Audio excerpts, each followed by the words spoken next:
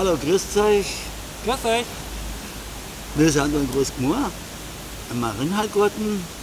Das ist total klasse und wir wollen euch da heute mal zeigen, wo wir überall Kraft tanken können. Großgemein ist ein total steiler Kraftgarten, der Marienhallgarten. Und Roman, du kannst dir da recht viel erzählen und die weißt ja da viel dazu. Und erzähl mal, wo wir überhaupt für klasse Kraftgarten in ganz Salzburg haben, dass man nicht weit fahren muss. Also man kann das zu Fuß oder mit dem Radl befahren. Also man braucht kein Auto nicht unbedingt, also wenn du Salzburg bist und wie klasse, dass wir das eigentlich haben. Und gerade in Salzburg haben wir wirklich sehr, sehr viel in unserer Umgebung. Wie du gesagt hast, man braucht wirklich kein Auto. Also heute an dem Tag meint man gar nicht, es ist zwar trübes Wetter, aber man fühlt sich sehr wohl da, man spürt die Energien. Das seht ihr gleich hinter uns. Das ist ein Felsen von Untersberg, der ist da zentral geomantisch äh, hergestellt worden. Also der ganze Kraftplatz, der ist geomantisch ausgerechnet. Wir befinden uns in einer Achterschleife. Da im Hintergrund seht ihr auch den Marienheilgarten, da wo die Kräuter angelegt sind. Da kann man dann ein paar Kräuter stibitzen und für sich selbst einmal ausprobieren, wie die schmecken. Aha. Das sind alle nach dem astrologischen Kreis angestellt. Und es gibt aber auch nicht nur die Marienheilgarten bei uns in Salzburg Umgebung. Gell? Wir waren ja schon bei ganz vielen. Ja, wir waren eigentlich so bei einigen rum, zum Beispiel eben in Maria Plein, da ist wunderschön. Ja. Also da kann man auch schön spazieren gehen rauf und oben, das ist genial. Da hat man Maria Pleiner, der schöne Aussichtspunkt auf Salzburg auch. Gell? Dann zum Beispiel auch einen Monatsschlüsselapfel, einen Hellbrunner Garten. Tiergarten kann man dann von oben sehen, da kann man von hinten rübergehen und dann das Felsentheater zwischendurch besuchen. Genau, am Heilbrunner Berg, das ist dann auch. Wir haben so viele Stadtberge bei uns in Salzburg. Oder Ja? der Mönchsberg, der was dann Mönchsberg, da, genau. Da gibt es einige Kraftplätze. Ja, Kapuzinerberg nicht vergessen. Ja, da sowieso. Also, Ja, ja. Wenn man bedenkt, was wir es haben. Und dann die unsere Schlüssel überhaupt. Eben Monatsschlüssel, dann eben die Schlüssel in Glessheim, Glessheim Schloss, da ist auch ein sehr schöner Garten. Sehr schön dort auch und da kann man auch Kraft tanken. Weil man kann da auch baden gehen bei Gläsheim, da gibt es den Mühlbach. Also das ist ganz klasse zum Entspannen, kann man sich erfrischen. Apropos baden gehen, es gibt einen Weiher, da darfst du eigentlich nicht baden gehen. Und zwar bei Leopoldskroner Weiher, das Schloss Leopoldskron, ein geiler Kraftplatz, wunderschön zum Spazieren gehen. Bist auch gleich dort und hat eine super Aussicht zum Untersberg, gleichzeitig natürlich zum Rheinberg zurück. Also voll steil, also nur zum Empfehlen. Ein wunderschönes Panorama. Die Menschen, weiß Gott, wo die hinfahren, Benzin verbrauchen, den Vorstress, wenn man ist sicher Italien, alles ist schön, man möchte auch gerne mal mehr sein. Aber es ist doch oft eine ganz schöne Belastung, die Autofahrt dahin.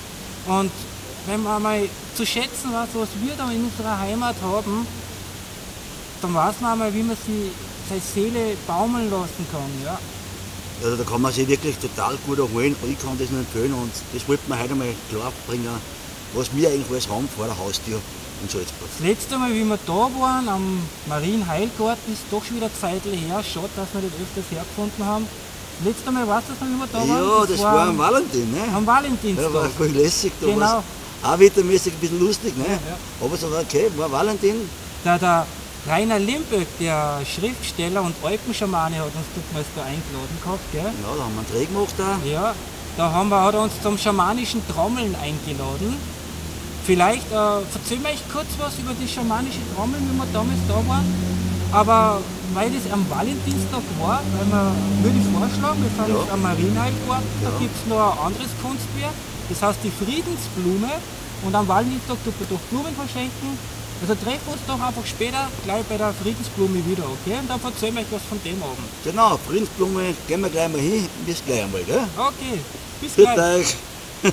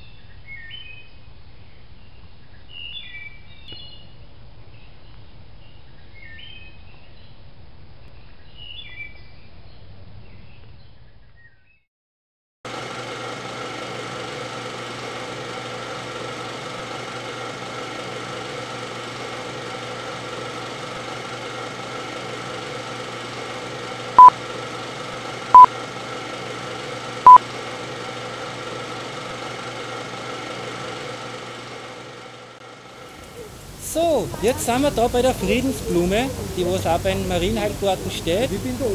Und wir sehen es, die ist einer Pusteblume nachempfunden worden. Symbolisch wird immer interpretieren, damit äh, die Liebe und der Frieden sich in allen Himmelsrichtungen verbreiten kann. Ja? So wie es eine Pusteblume eben macht. Ja, interessant ist das, da ist eine Hand drauf. Wenn man das genau schaut, das ist voll und das ist immer eine linke Hand. Ja, nicht nur eine Hand, es ist auch ein Auge in dem Da Sinne. ist ein Ja. Auge drinnen und das ist alles ganz interessant. Da unten ist das Ganze in einer rechten Hand. Da haben wir wieder die Komplementär wie oben, so auch unten. Gell? Ja, das ist halt interessant, warum das passiert, das weiß ich nicht, aber vielleicht weiß du ein bisschen was, ich weiß es eigentlich nicht. Ja. Da unten ist alles dann aufgeführt. Ich würde sagen, wir wollen nicht alles so zerreden, weil wie gesagt, wir haben ja euch angekündigt am Valentinstag, wo die Blumen verschenkt werden, haben wir euch eben jetzt die kurz zeigen wollen. Doch kommen wir mal einfach auf das Schamanentreffen hin, wo wir Genau, letztes Mal waren. ja- Das war eben am Valentinstag mit Ja. Rainer Limburg, das war so schön, der hat uns da an einer Reise zurückgeführt.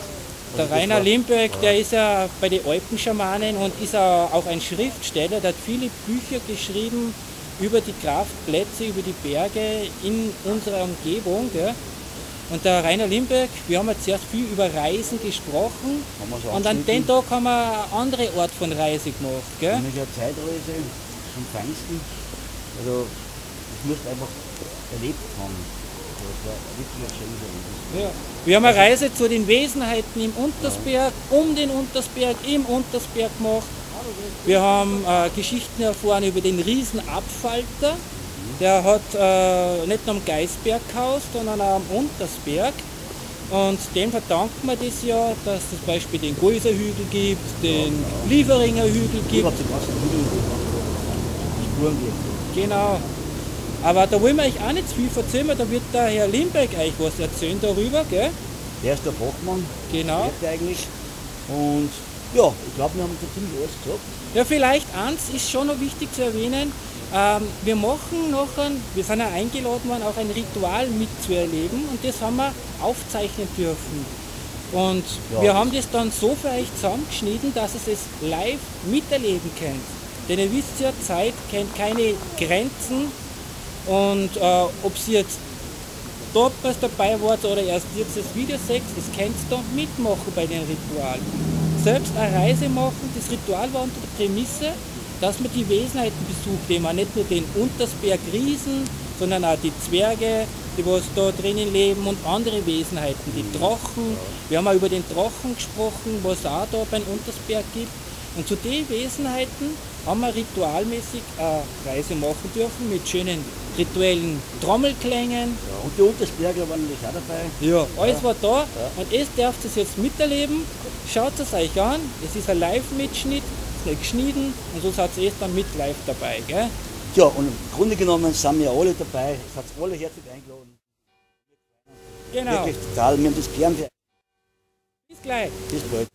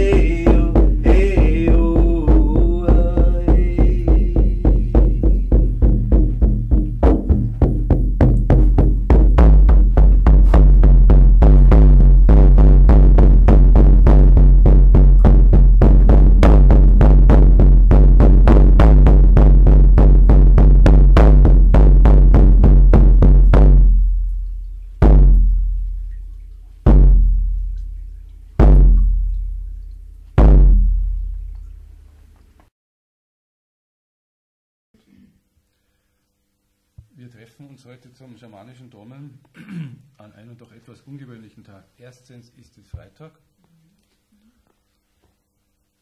das war äh, und bleibt auch eine Ausnahme, weil es bleibt einfach der Donnerstag, auch im zukünftigen Rhythmus, aber letzten Donnerstag war ich verhindert und da gibt es dann keinen anderen Ersatztermin mehr. Die Donnerstage sind eigentlich das ganze Jahr über schon ausgebucht, deswegen musste ich am Freitag ausweichen.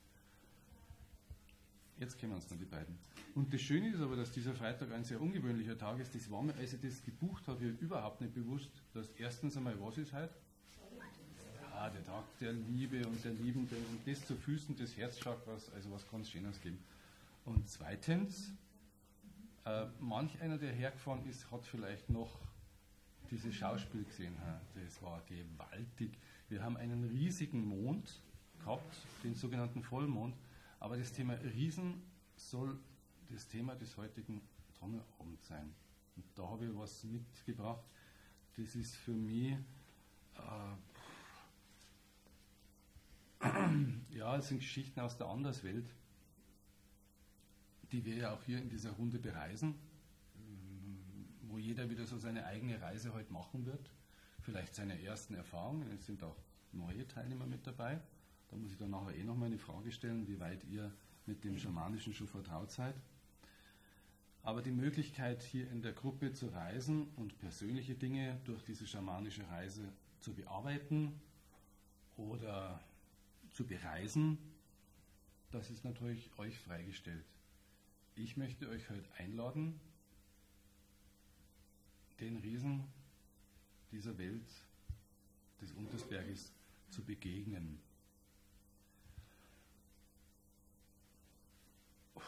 Das ist ein heftiges Thema, weil es, es handelt sich ja um sehr riesenhafte Wesen. Und mir ist ja immer Anliegen bei diesen Trommelabenden, dass ihr euch über die Dauer vertraut macht mit den mythisch-mystischen Wesen unserer Heimat. Da sind ja inzwischen die Untersbergmandel schon sowas von bekannt und dank dem Norbert und seinem Lied, äh, die sind auch hier bei der Trommelgruppe immer mit dabei. Ich hoffe, Norbert, du hast die Möglichkeit. Wenn nicht, dann werden wir sie anders zu besingen wissen.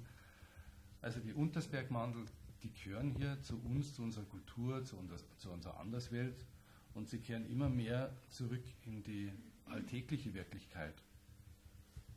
Und diese ganzen Wesen, die jetzt in dieser Zeit, in der Zeit des Bewusstseinswandels und wie auch immer ihr das nennen wollt, und es gibt auch diesen Begriff New Age, die jetzt wieder zurückkehren, die, das liegt sicherlich daran, dass es so viele Menschen gibt wie hier auch in der Runde, die dem wieder aufgeschlossen gegenüberstehen und eine Sprache erlernen, die es uns ermöglichen, mit diesen Wesen in Kontakt zu treten. So, und ich habe wie jedes Mal eine Sage mitgebracht, und zwar die Sage von einem Riesen des Untersberges. Und nach der Sage möchte ich euch einiges dazu erklären. Das absolut Spannende ist äh, die Entwicklung der letzten Tage und Wochen zu diesem Thema Riesen des Untersberges weil dafür ich ähm, derzeit eine Diskussion mit, mit ein paar Leuten darüber. Das läuft derzeit nur per Mail, aber die Diskussion ist schon sehr weit vorangeschritten. Und es geht wirklich darum zu sehen, welchen Einfluss hatten solche sagenhaften Wesen tatsächlich auf unsere Heimat. Vielleicht, ob sie es wieder haben, das weiß ich nicht. Und als ich heute früh dann nochmal nachgeschaut habe, weil ich wollte die Sage dann ausdrucken, es gibt eine Kurzversion dieser Sage, die schaut so aus. Das sind ein paar Zeilen, so, so Zeilen vom Riesenabfalter. Zu finden ist diese Kurzversion im Salzburger Sagenbuch. Und dann habe ich aber heute in meinem Archiv nochmal geschaut und dann bin ich tatsächlich auf eine längere Version äh, gestoßen und die beinhaltet ähm, extrem viel was hinter diesen Schleier blicken lässt. Und das möchte ich euch jetzt vorlesen.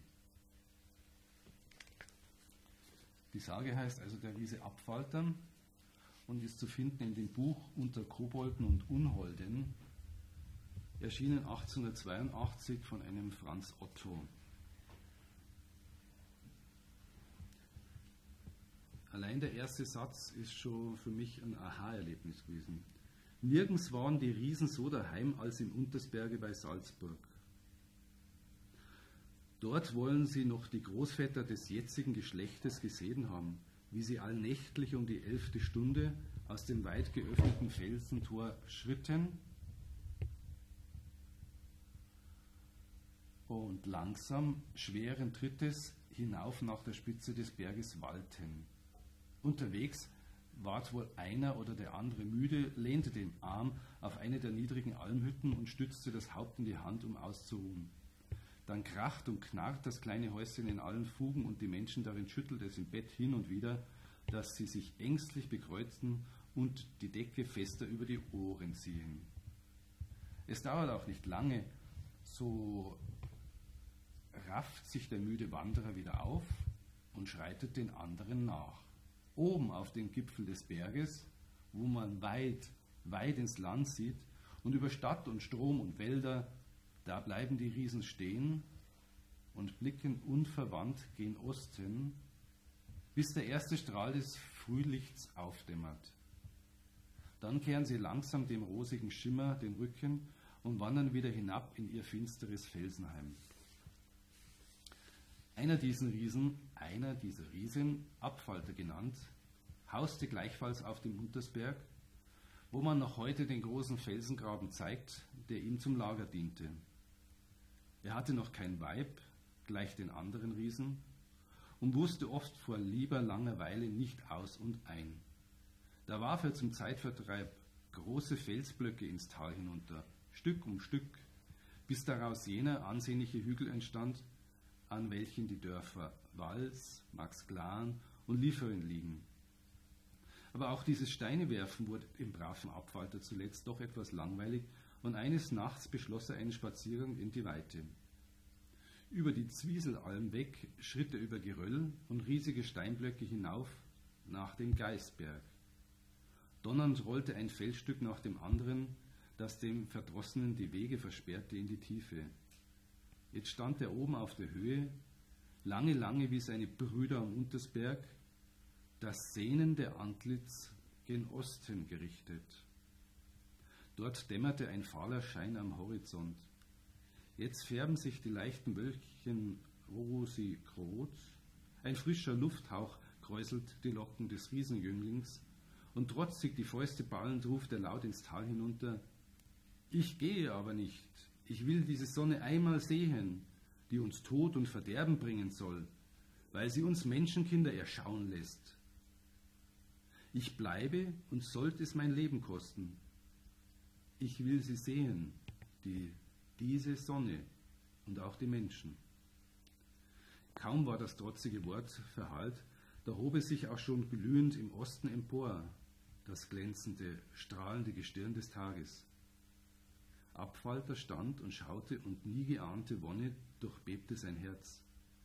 Was sind all unsere blinkenden Schätze dort in der Tiefe und in den Felsspalten gegen dieses Wunder? rief er staunend. Ach, wie reich ist doch das Menschengeschlecht, dem so herrliches Tag für Tag geboten wird. Aber immer höher stieg der strahlende, glitzernde Sonnenball und des Riesen nachtgewohntes Auge konnte bald sein Licht nicht mehr ertragen. Langsam wandte er um und schritt in gewohnter Weise, sich die We Wege ebnend, dabei in Gedanken versunken, den Berg hinab zum Tale. Da fast am Fuße desselben angelangt, stört leises Weinen und Schluchzen sein träumerisches, sein träumerisches Scharen ins Blaue. Niederblickend gewahrte er auf der anderen Seite der Felsgruppe, an der er niederschritt, ein Mägdelein, das betrübt am Ufer der Salzach auf und ab wandelt. Der Riese beschleunigt seine Schritte, um zu ihr zu gelangen. Warum jammerst du so elendiglich? fragte er die Dirne. Ach, ich weiß nicht, wie ich über den Fluss kommen soll, klagte das Mädchen. Ich hatte mir Steine gesammelt, die ich als Trittsteine ins Flussbett hineinlegen wollte, aber sie waren zu schwer. Da seht nur, sie haben meine Schürze zerrissen und einen nach dem anderen habe ich verloren. Ohne sich lange zu besinnen, hob Abfalter das hübsche Kind auf, auf seine Arme, setzte mit einem mächtigen Schritt über die Salzach und ließ dann die Dirne drüben unversehrt wieder zur Erde gleiten. Mit freundlichem, wenn auch scheuem Dankeswort schritt das Mägdelein von dannen. Abfalter aber hatte von Stund an keine Ruhe mehr in, seinem, in seiner Bergspalte. Die Sonne hatte er geschaut und ein holdes Menschenkind dazu, obgleich dem Bergriesen beides verboten ist. Nun trieb es in ruhelosen Sehnen jeden Morgen hinauf nach dem Geisberg, den Sonnenaufgang wieder und wieder zu schauen. Man zeigt noch heute dort die Abdrücke seiner großen Füße im Gestein. Wie viel hundert Jahre mag er da gestanden haben, ehe der Abgrund seiner Fußstapfen so tief sich einprägte? Wie oft mag er suchend am Flussufer nach der Menschenjungfrau gespäht haben, ehe auch für ihn, wie für das ganze Riesengeschlecht, die Sonne zum letzten Mal unterging.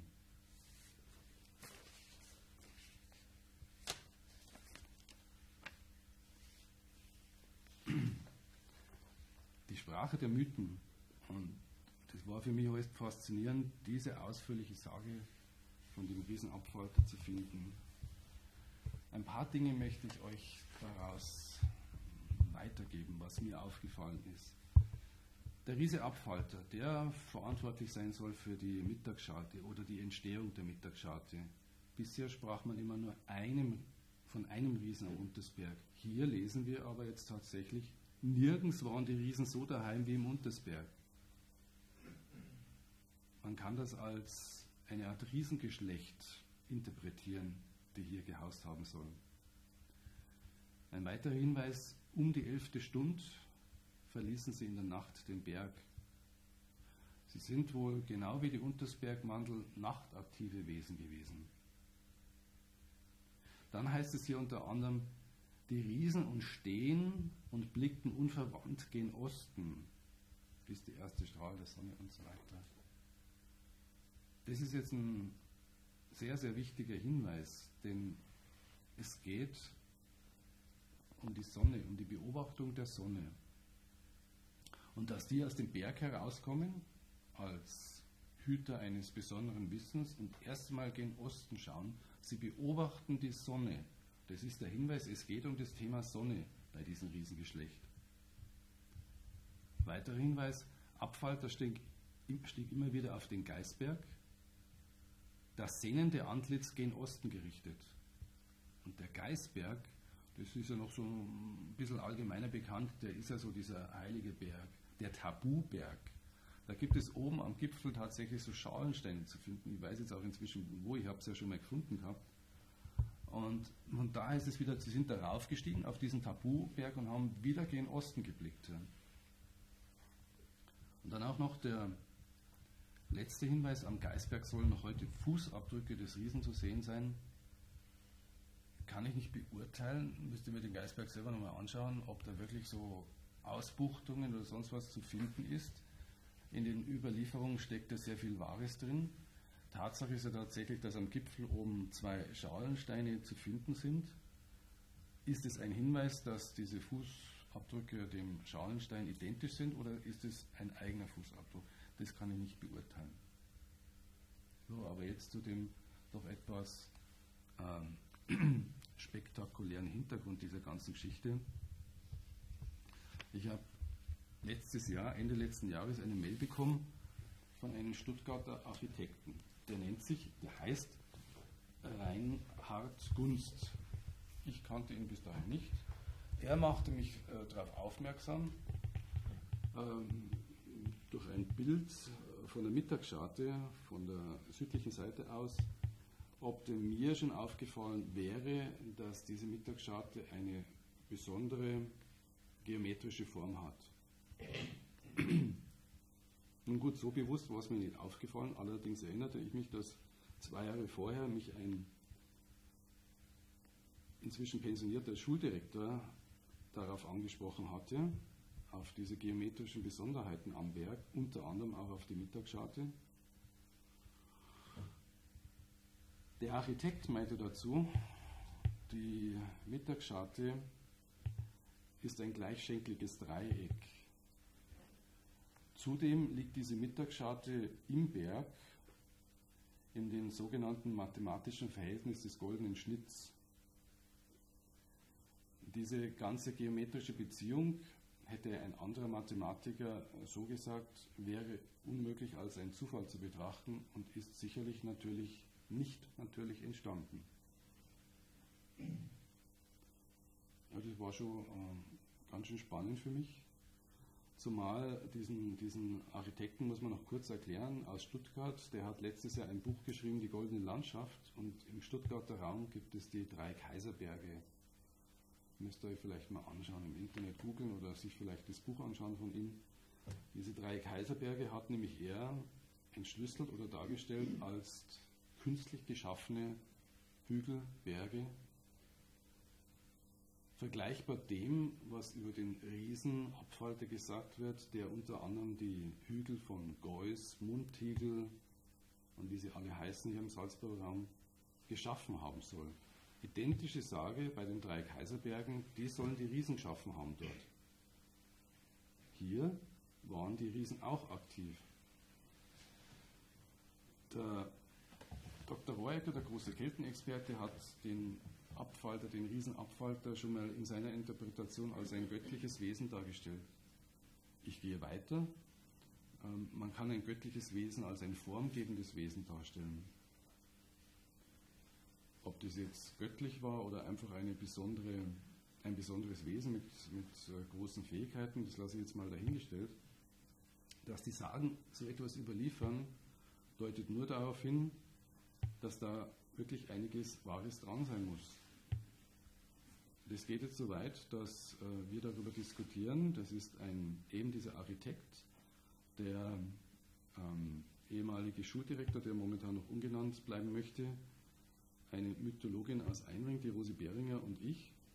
Wir diskutieren momentan darüber, ist die Mittagsscharte am Untersberg künstlich entstanden und wenn ja, warum?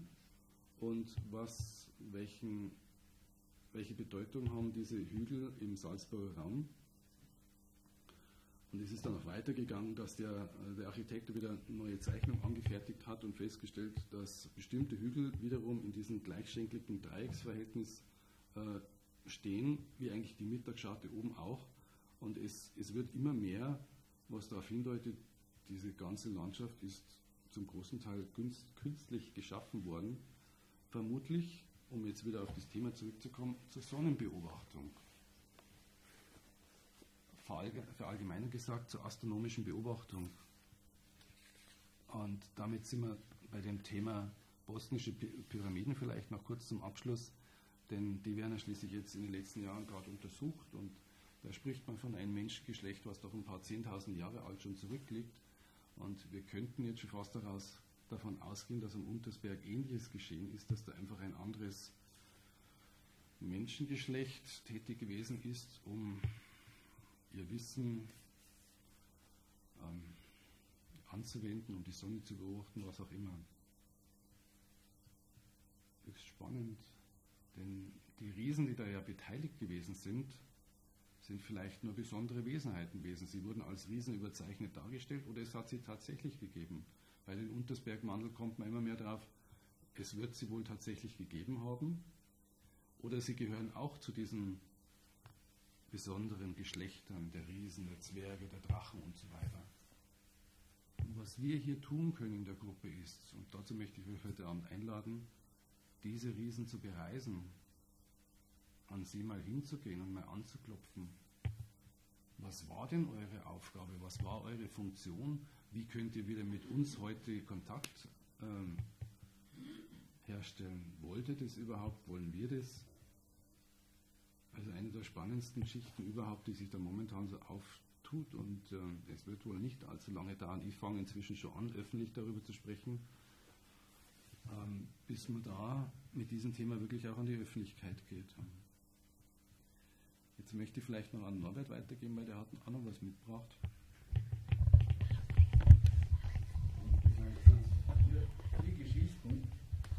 Ich werde nicht so kurz fassen wie möglich, aber die sind so spannend und so interessant. Ich habe das letzte Mal schon angesprochen von dieser, von zwei Untersberg Mandel Begegnungen von einem Freund von mir. Er war halt gern wieder da, also war halt gern da gewesen. Letztes Mal war er verhindert, heute er ist bei der Bergwacht und die haben halt eine Jahresversammlung oder welche Versammlung auch immer und hat wieder nicht äh, da sein können. Jetzt habe ich mir die Geschichte nochmal genau von ihm erzählen lassen. Und zwar ist da folgendes passiert. Er ist mit einem Freund vom Latschenwirt Parkplatz weggegangen Richtung Wallandacht. Nach der Waldandacht kommt diese Kneipanlage. Und es war äh, relativ finster schon, sie sind da äh, am Abend äh, aufgebrochen.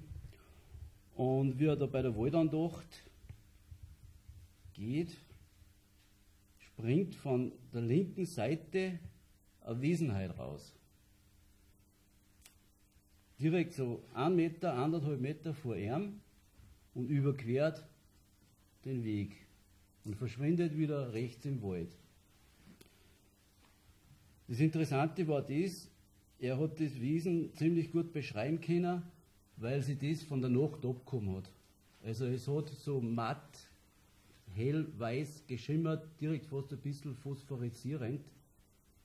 Hat das beschrieben als sehr hager, ungefähr 1,30 Meter groß. Die Bestätigung.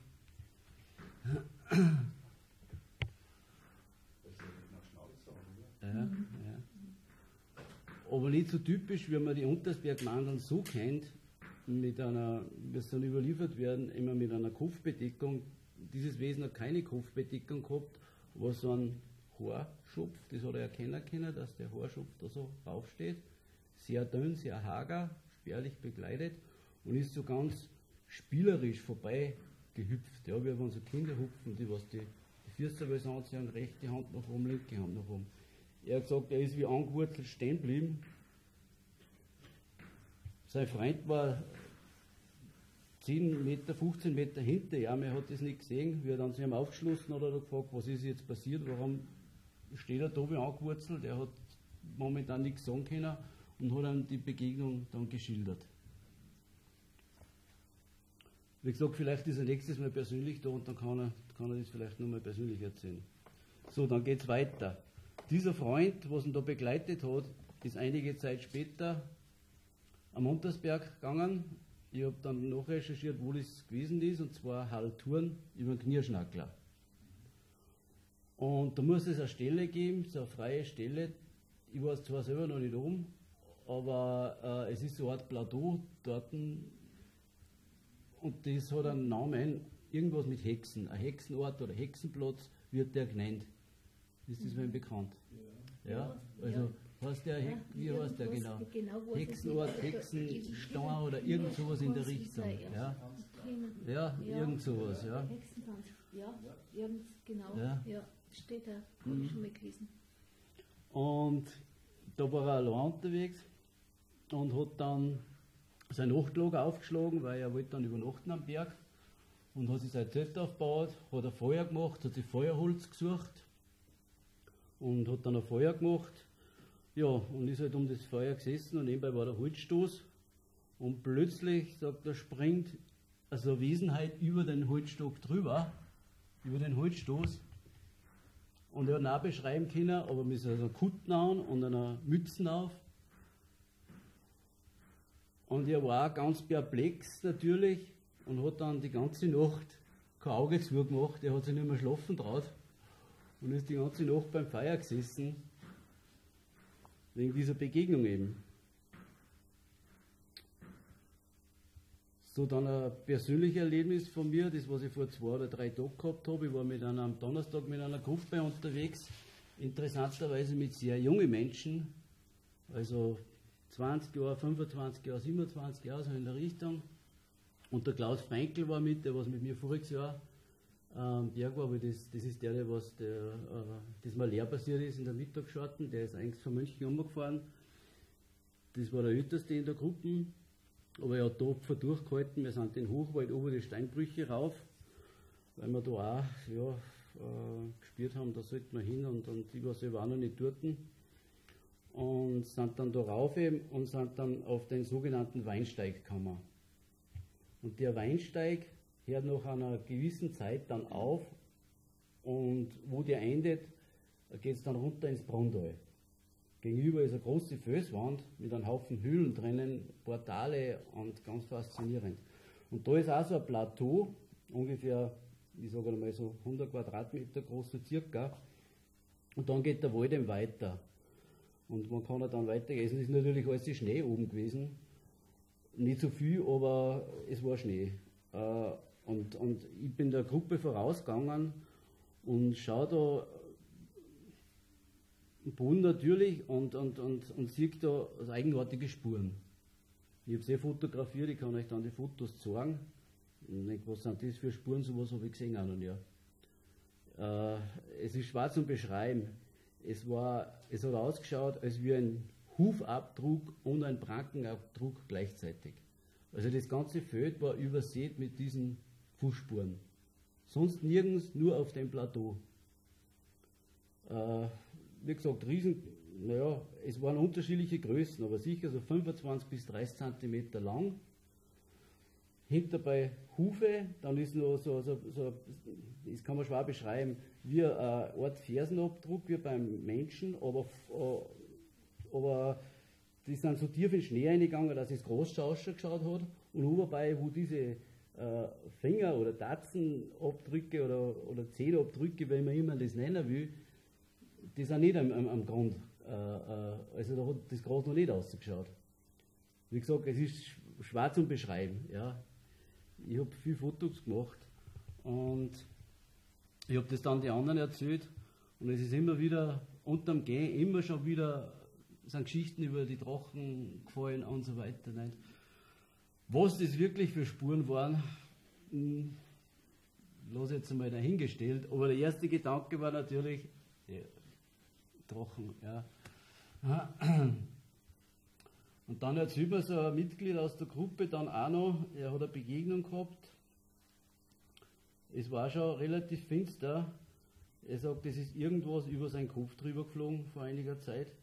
Weil sie hat alle möglichen äh, Gedanken gehabt, was es sein könnte. Irgendwas ferngesteuert, eine Drohne, ein großer Vogel, das hat alles nicht passt. Ja. Für einen großen Vogel war das viel zu groß.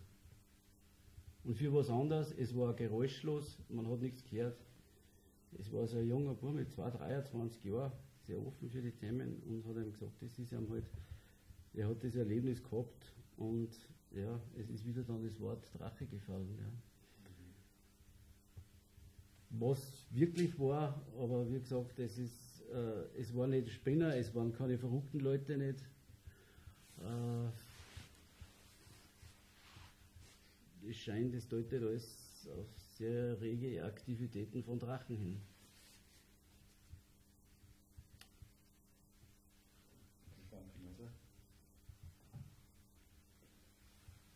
wir so ausführlich am Beginn seiner Gruppe über diese Begegnungen, ich sage jetzt schon bewusst nicht mehr Erscheinungen sprechen, sondern Begegnungen, äh, soll euch allen nochmal bewusst machen und gerade auch die jetzt zum ersten Mal dabei sind und sich das vielleicht gerade mal so anschauen wollen, dass die, die Welt der Mythen, die Anderswelt, dass die immer da ist und immer da gewesen ist, aber dass wir heute langsam wieder dahin finden, diese andere, andere Realität wieder in unser Bewusstsein zurückzuholen, mit der zu arbeiten, das auch als hilfreich zu empfinden, was die uns alles sagen kann.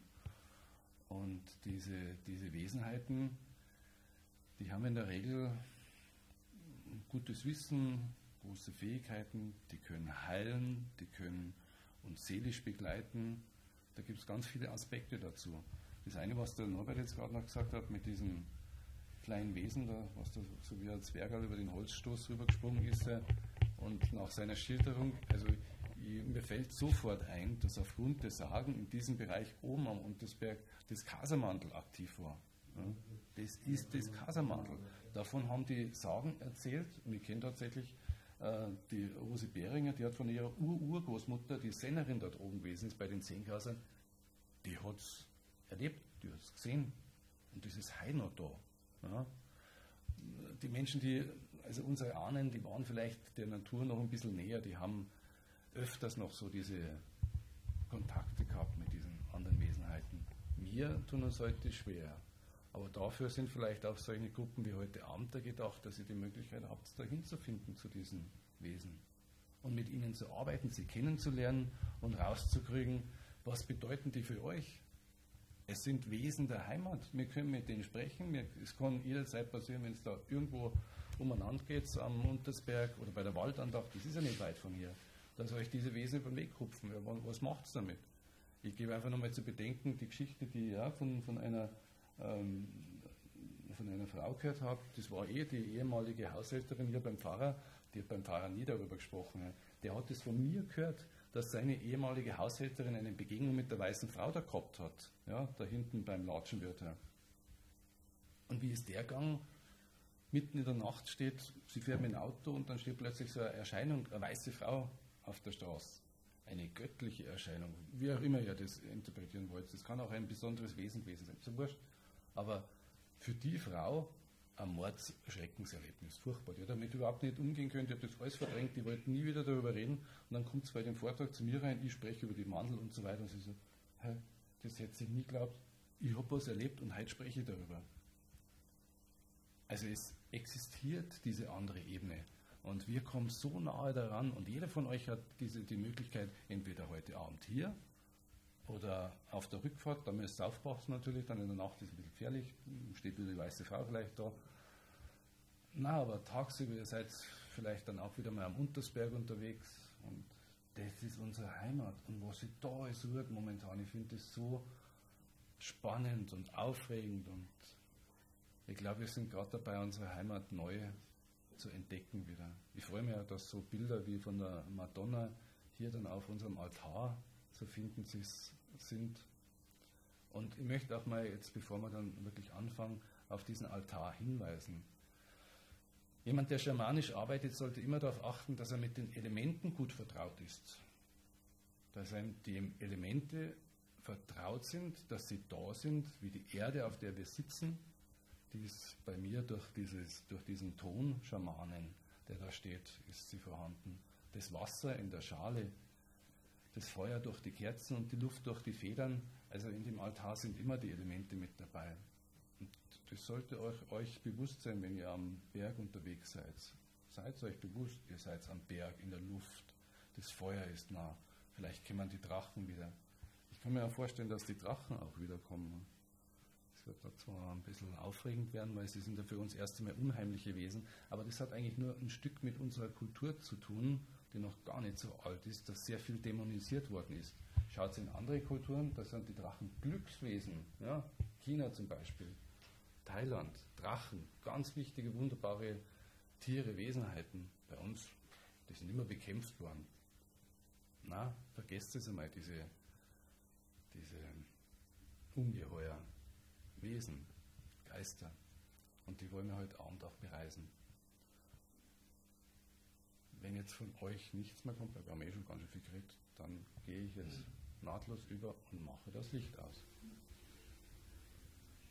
Oder bitte die Martha, dass sie das Licht ausmacht.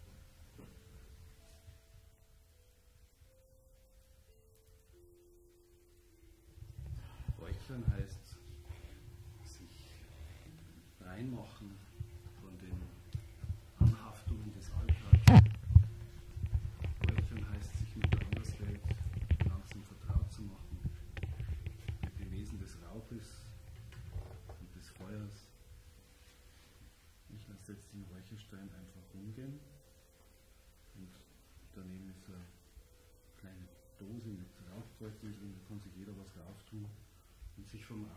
listening.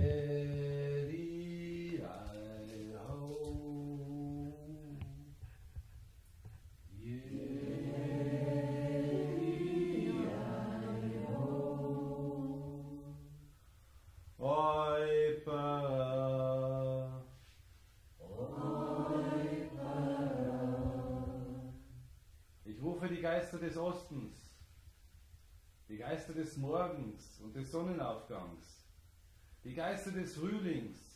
Ich rufe den aufsteigenden Adler.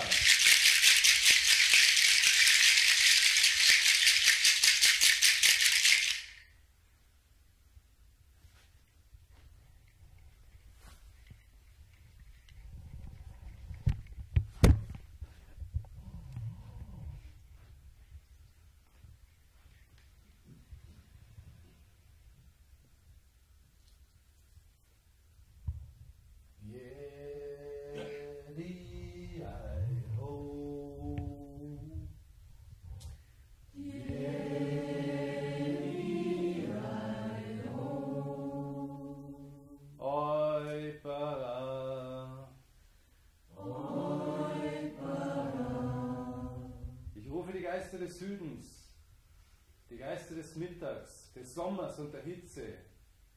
Ich rufe den Mittagshirsch.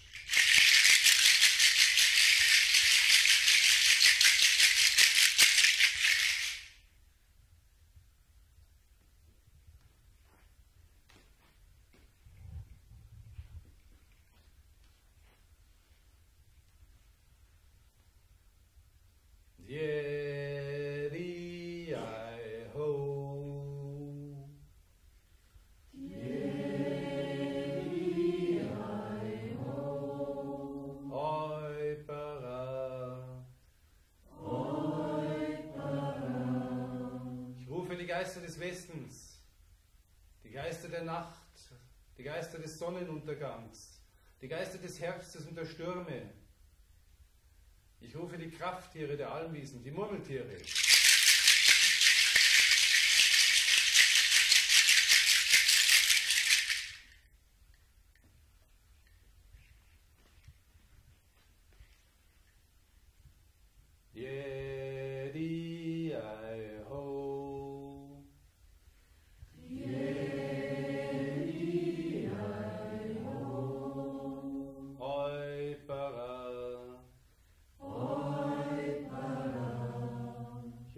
Geister des Nordens, die Geister des Sonnenuntergangs, die Geister des Winters und des Eises.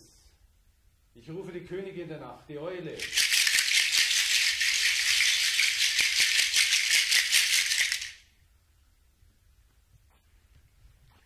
Und ich rufe die guten Geister des Himmels, die Schutzgeister und die Schutzengel.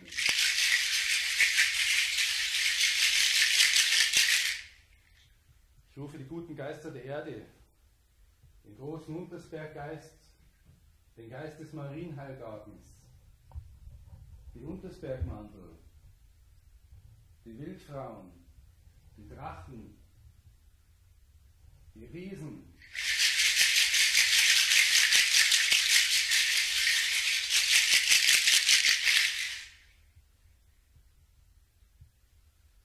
Heiliger Untersberg, der du die Percht in dir trägst, bewahre uns vor Unglück, Krankheit und Not.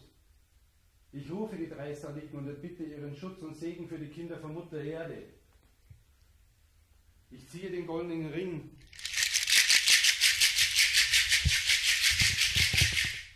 Als Schutz für all die Menschen und Wesen in unserer Mitte.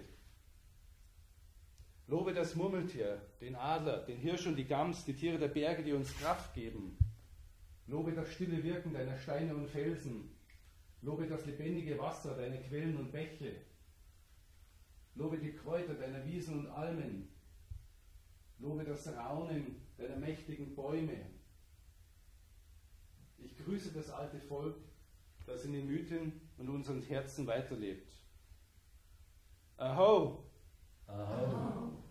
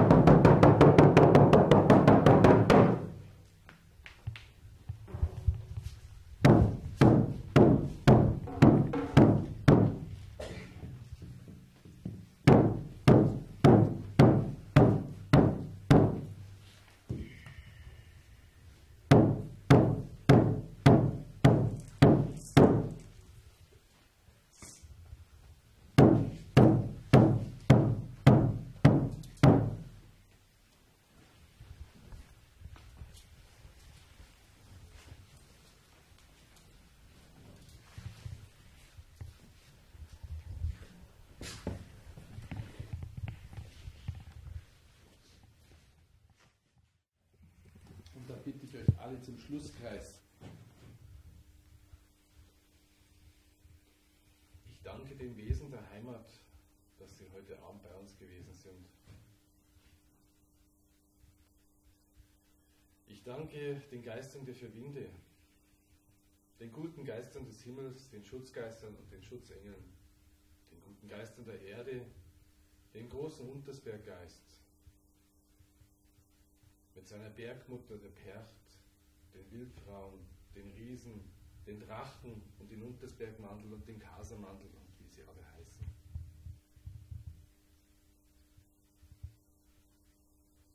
Ich danke unserer Krafttierin und ich danke Mutter Erde. Und ich bitte mit einzustimmen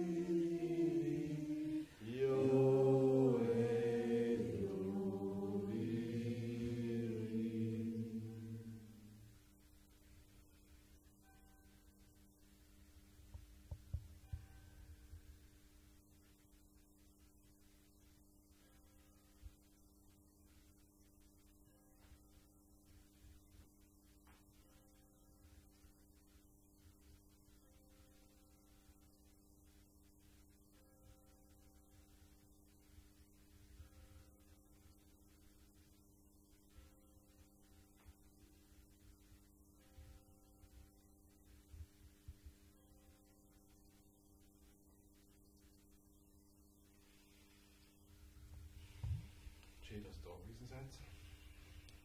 Es gibt ein Nachspiel. Also, es gibt einfach eine Wirtschaft, die heißt Kaiser Karl und äh, wenn die aufhat, weißt du das immer? Ja, Oder auch? Ja, Dann darf ich gerne noch hingehen. Also, wer noch mitgeht, gerne. Ich muss noch ein bisschen zusammenräumen, aber ich kriege gleich noch. Und dann sage ich auf zum Kaiser Karl und habt eine gute Zeit, genießt den Vollmond und ja, ich hoffe, dass wir uns beim nächsten Mal wiedersehen. Ja, irgendwann sehen wir uns wahrscheinlich dann einmal. Ich hoffe, dass ich von euch erfahre, wann das mal zu sehen ist. Ja, gut, kommt's gut heim. Aho. Einer, du kommst noch. Ja, du, du hast das da zum ersten Mal das gemacht oder hast du das schon öfters gemacht? Also ich bin schon öfter schamanisch gereist, ja. Aha, und äh, was hast du da für Eindrücke? Ja, also bei mir hat das erst einmal so angefangen, dass ich mal ewig gedacht habe, ich kann nicht reisen. Weil ich habe immer wieder von Leuten gehört, was die so erlebt haben in der nicht alltäglichen Wirklichkeit und das waren für mich immer total spannende und super Sachen und mir ist ewig lang der Knopf nicht aufgegangen, dass ich eigentlich das eh schon mache. Ich hatte nur äh, nie wirklich einen Begriff dafür. Und irgendwann ist dann einfach der Knopf aufgegangen und ich wusste, okay, ich habe meinen Startpunkt, ich gehe durch mein Portal, das ist bei mir so ein Gartentür-ähnliches Gebilde, da gehe ich durch und dann kommt es halt drauf an, was ich vorhabe. Ja. Heute war es so, dass ich nach meiner spirituellen Führung gefragt habe. Die war dann da. Die hat mir dann bei der Hand genommen und wir sind dann eben zu einem Platz gegangen, wo ich dann eben verschiedene Erfahrungen gemacht habe. Ja, du, ich habe gesehen, dass du recht viel mit den Trommeln machst, da, dass das recht gefällt. Bist du so in die Trommeln auch so ein bisschen eingefühlt? Ja, also Trommeln ist meine Leidenschaft. Ich spiele äh, nicht nur Schamanentrommeln, sondern die orientalische Rahmentrommel auch noch. Ja. Bin so Session- und Hobbymusiker ohne Band. Und wir sind so Trance, Trommeln ähm, ist mir geläufig. Ich bin meistens der, der trommelt und daher auch immer sehr kontrolliert dabei ist. Ja, und es ist für mich halt, wenn ich unter Schamanen bin, halt immer sehr speziell, weil die einfach wirklich drauf getriggert sind, starr ihre 240 Schläge pro Minute und keine Melodie und nichts. Also da tue ich mir immer ein bisschen schwer, da holper ich dann auch selber ein bisschen. Okay, vielen Dank, war ein schönes Interview. Wünsche noch viel und vielleicht sehen wir uns ja wieder mal bei schamanischen Reisen. Ne? Ja, sicher. Servus.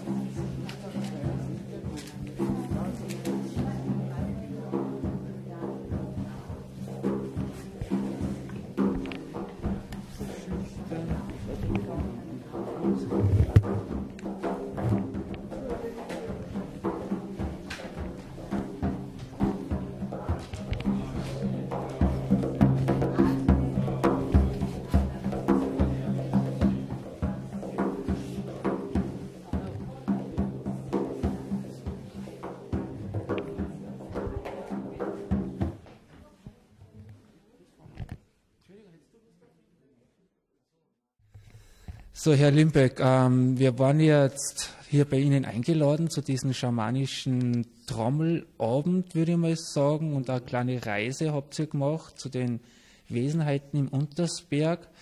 Ähm, ich würde Sie gerne mal fragen, ähm, wie sind Sie zu diesem, was ist das, ein Verein oder eine schamanische Gruppe? Wie nennt man euch? Ja, schamanische Gruppe, also Verein äh, ist es nicht, weil es gibt keine festen Mitglieder. Und äh, das ist eine Gruppe, die trifft sich regelmäßig, also einmal im Monat kommen wir hier zusammen. Und ähm, das Besondere ist, dass wir eigentlich nur in der dunklen Jahreshälfte hier drinnen arbeiten, also im Pfarrsaal Großgemein. Und die andere Jahreshälfte, die lichte, die warme, äh, die sind wir draußen in der freien Natur und haben da so unsere, ich sage mal, Kraftorte, unsere Kultplätze, die wir besuchen und wo wir dann auch schamanisch arbeiten. Das ist praktisch so eine Art Trockentraining, was wir hier machen, um dann später, also ist ja gar nicht mehr so lang, früher kommt er schon bald, dann geht es wieder raus und dann sitzen wir draußen und trommeln und sitzen vielleicht am Feuer beieinander und erleben diese Wesenheiten, die wir ja hier bereisen, also wo wir hier versuchen, über diesen Innenkontakt mit denen in Kontakt zu treten, die haben wir natürlich dann draußen in der Natur um uns herum. Feuergeist, alles. Wir, heute sind wir besonders äh, beim Marillenheilgarten in Großgemein beim Herrn Pfarrer Schmatzberger. Da habt ihr euch einen Raum im Vorhaus, damit es schön warm ist. Ja. Äh, welche Orte habt ihr schon alles besucht mit euren Treffen? Naja gut, es gibt, es gibt so Orte am Untersberg, die inzwischen schon recht bekannt sind. Da gehört sicherlich auch die Grasselhöhle dazu, wo sehr viel schamanisch gearbeitet wird. Da gibt es, ähm, da gibt es auch eine Höhle bei Bad Reichenhall. Äh, da gibt es die Burg Karlstein bei Bad Reichenhall, ein wunderschönes Gelände. Es ist ein, ein alter Frauenkultplatz. Und äh, da finden wir uns zum Beispiel auch regelmäßig ein, dann, um zu, zu, umzutrommeln, auch so wie heute Abend dann. Ähm, wir haben ein Buch von Ihnen, das heißt Der Mythos Untersberg. Sie schreiben ja sehr viel darüber, sind also sehr, sehr versiert, ja. Ähm, wie schaut denn so ein Abend bei euch generell aus? Äh, ist das immer so mit so einer meditativen Reise verbunden oder was für vielseitige äh, Veranstaltungen macht ihr pro Abend? Naja, das eine ist die, die schamanische Trommelgruppe und die schamanische Arbeit. Da geht es eigentlich darum, dass man die Gelegenheit findet, äh, in einer schamanischen Gruppe über eine schamanische Reise die Anderswelt zu besuchen ähm, dort Fragen zu stellen, die man dann vielleicht von seinen Verbündeten, von seinen Krafttieren, äh, von seinem geistigen Lehrer beantwortet bekommt. Und das ist so der Vordergrund, das praktische Arbeiten, das man natürlich auch gut in den Alltag mitnehmen kann, wenn man dann Lösungen gefunden hat, wenn man Antworten bekommen hat. Aber was mir ganz wichtig ist, und das nehme ich auch, noch, auch raus, wenn wir irgendwie draußen unterwegs sind oder wandern gehen, dann ist es mir sehr wichtig, die Menschen, die hier in unserer Heimat unterwegs sind oder zu den Trommelabenden kommen, dass ich denen die Bedeutung unserer, unserer Vorzeit, unserer Frühgeschichte, unserer Ahnen und vor allem unserer Mythen, der Überlieferungen, dass ich denen das vermittle, was da eigentlich alles vorhanden ist. Das ist eigentlich äh, wie eine Art Lexikon, wenn man in die Sagenbücher so reinschaut, was da drin steht. Und ich bin überzeugt aufgrund vieler eigener Erfahrungen, dass in jeder Sage ein wahrer Kern steckt. Und wenn wir äh, diese Sprache der Sagen wieder lernen oder wieder begreifen können, dann kommen wir unserer eigenen Heimat schon wieder sehr nahe. Es hat was mit spiritueller Entwicklung zu tun, es hat was mit unserem eigenen Selbst zu tun und diese ganzen mystisch-mythischen Wesen, wie wir heute Abend ja auch äh, kennengelernt haben oder bereist haben, sei es jetzt die Riesen, die Untersbergmandel, die Wildfrauen, äh, wie, sie, wie sie alle heißen, die Drachen, zum großen Teil sind es Wesenheiten einer anderen Realität oder der Frühzeit und das ist schon wichtig, einen Teil unserer Heimat wieder kennenzulernen und, und das zu verstehen und vor allem vielleicht auch mit dem Dialog mit diesen Wesenheiten an sich selber weiter wachsen zu können. Ja, ich sehe, also er bringt den Menschen schamanische Praktiken äh, wieder zurück. Äh, er sagt die Wurzeln gleich vor der Haustür, was schon lang verborgen ist. Schwerpunkt Untersberg. Ähm, ja, sehr interessant. Ähm, haben Sie vielleicht noch ein Schlusswort zu den Leuten, die das vielleicht interessieren könnte, ähm, dass man sie vielleicht bei der haben Sie eine Homepage, dass wir die einblenden? Ja, ich habe also mit Veranstaltungshinweisen. Sind da die Veranstaltungshinweise dabei? Da stehen also gerade auf der alpinschamanismus.de, da ist auch ein Punkt unter Aktuelle, stehen dann die laufenden Veranstaltungen drin. Und dann gibt es natürlich auch die Untersberg-Seite, untersberg.org und die Kraftort-Seite, kraftort.org.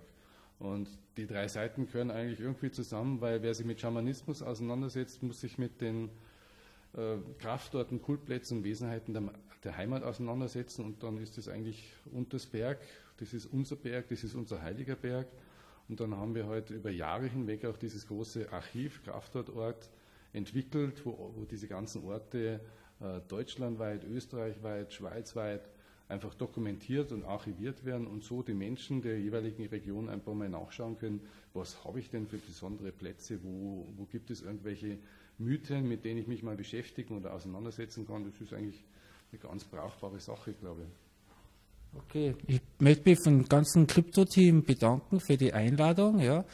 Ähm, ich freue mich vielleicht schon mal auf zukünftige Wiedererlebnisse, auf große Reisen, die wir, wir heute gemacht haben hier beim Marienheilgarten. Und an die Zuseher zu Hause wünsche ich auch noch, äh, dass ihr alle frei seid, dass ihr beschützt seid und behütet. Bis zum nächsten Mal bei Krypto TV.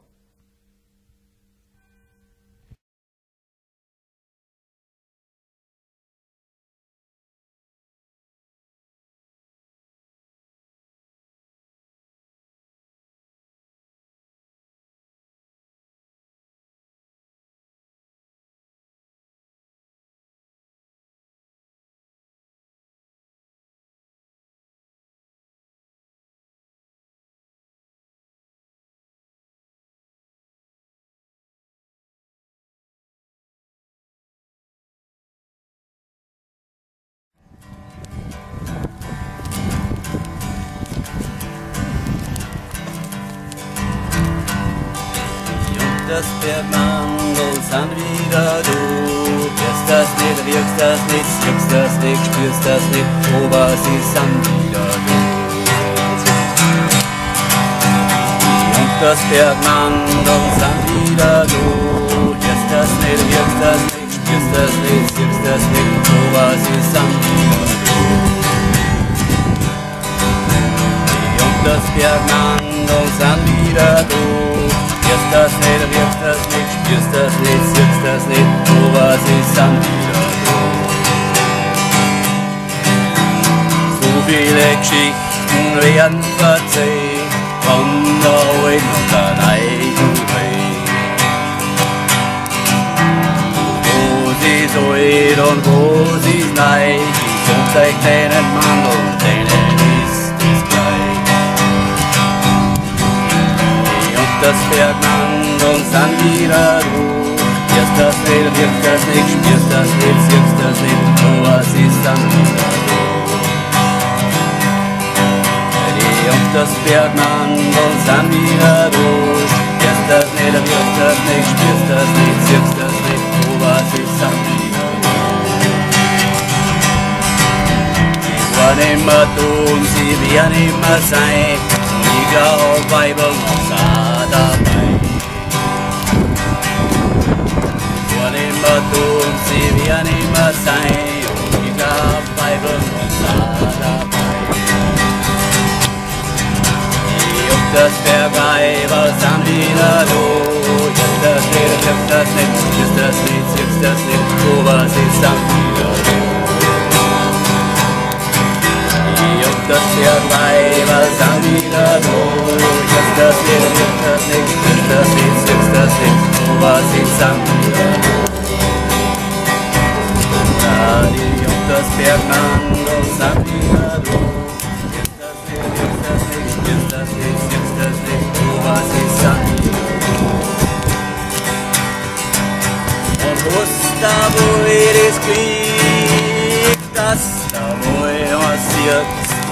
dann sing gerne freundlich zu und schenk gerne deiner Wein.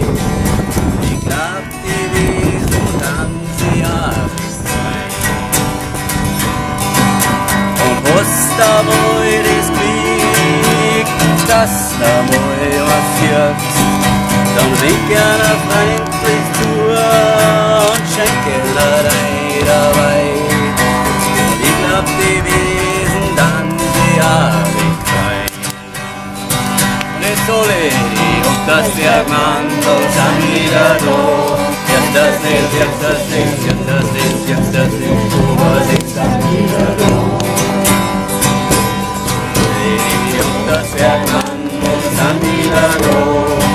Soleri